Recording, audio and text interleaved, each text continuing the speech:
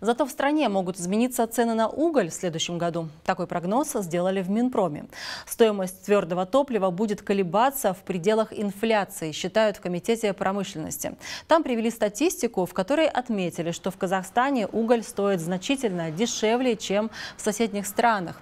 Разрезы отпускают его по цене до 9 тысяч тенге за тонну, а в целом в регионах казахстанцы могут купить его от 8 до 28 тысяч. Стоимость зависит от марки, дальности доставки и наличия железнодорожных тупиков.